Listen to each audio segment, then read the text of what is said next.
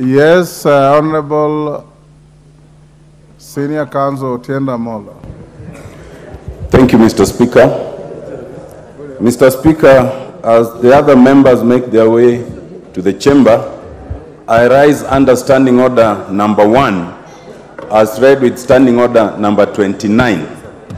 If the Honorable Wamboka Wanami will take his seat, I will prosecute my point shortly. Mr. Speaker, under Standing Order number one, it gives you discretion to give direction on any matter not expressly provided for. Understanding Order number 29, it allows a member or members to request the leader of majority and or the leader of minority for a special sitting. Mr. Speaker, as you may recall, a significant number of members, totaling 41, did request a special sitting to discuss the very important matter of non-disbursement of CDF funds in this country. Mr. Speaker, that communication issued on 1st of February and was duly copied to your office. Mr. Speaker, we have today resumed our regular sittings, but without a response or directions on that request. So the first point of direction, Mr. Speaker, is for you to guide where members who themselves are the one to sit request a special sitting and it is not constituted, how should that request be treated? Mr. Speaker, secondly, your direction on another important thing. On the 5th,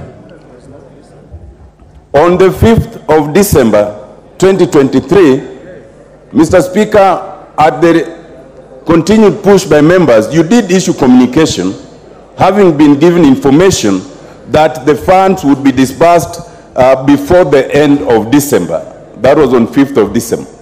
It now appears, Mr. Speaker, that the Cabinet Secretary for Treasury may have misled our Speaker.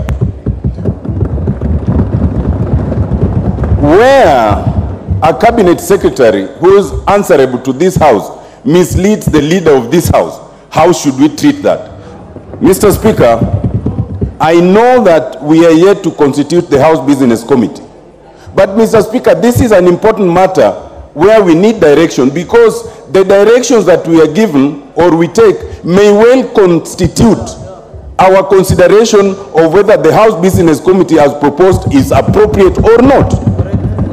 Uh, Mr. Speaker, with respect, I do not imagine what other businesses we can be discussing when Kenyans are at home, students are at home, because we've not dispersed those funds. Mr. Speaker, without that, I think this sitting should be suspended until further notice. Thank you, Mr. Speaker.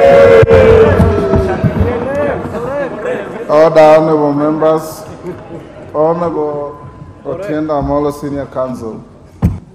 You have a legitimate point, but your prescription is unnecessarily drastic. We can resolve the issue without suspending our sitting, particularly on day one, when we want, in fact, to facilitate you to move the motion if you wish for members to debate.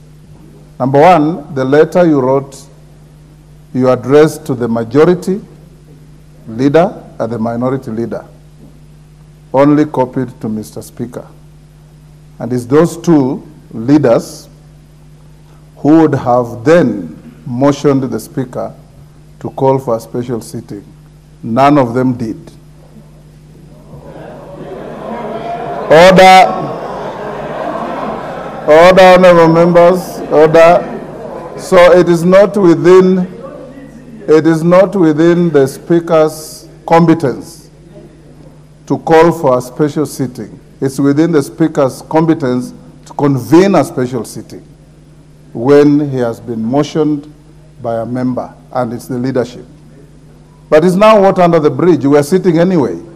So we can allocate you time at an appropriate time, not today, so that you can discuss this important issue. Today being the first day, order CNN, I'm sure you know the standing orders.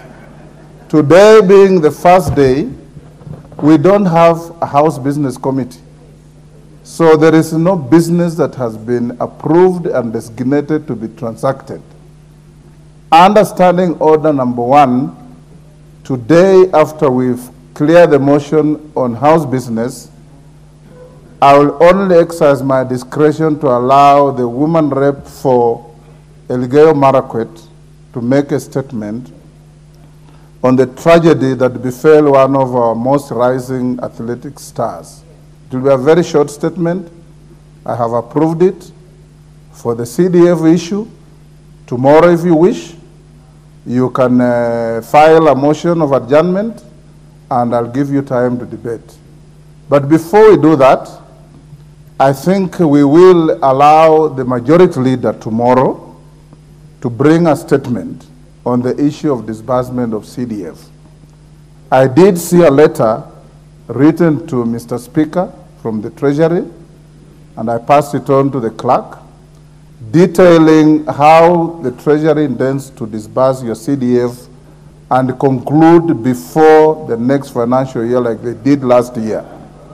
As to the timings, it's administrative, and I'll leave it to the majority leader, who is your interface with the government, to handle and report to the House tomorrow morning. It's so directed. Yes, Wangari? Thank you, Mr. Speaker. And I rise to just seek your clarification on the communication that you gave, especially on the lapse of business. And this is specific to questions, being that this is a new model where we have the cabinet secretaries come here and answer questions. And my question and clarification, Mr. Speaker, is that what happens if you file a question and there is no other interest? And I say that because I filed a question to the Cabinet Secretary for Gender, Culture and Arts in April last year. But there has been no other member interested to warrant the CS to come. Why would I be disenfranchised as a member because I was queuing to actually kill that business, yet it was not responded to? I would like your clarification on that, Mr. Speaker. Yes.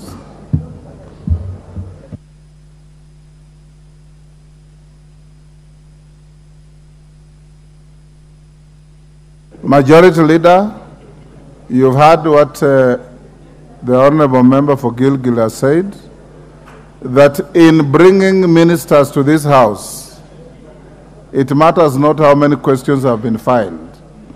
I think give each dog an opportunity to have a bite. So bring ministers regardless of the number of questions so that each minister can come and face the House and supplementaries may arise therefrom. So that, uh, of course, priority gives, goes to those with heavy questions and many questions, but even those with one question like Wangari's question, you can edge them in for 10, 15 minutes, they finish, then you go to the ones with more questions.